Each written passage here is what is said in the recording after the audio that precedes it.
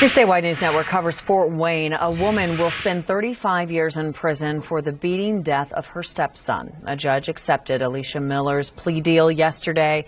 The 31 year old pleaded guilty in October to aggravated battery and neglect.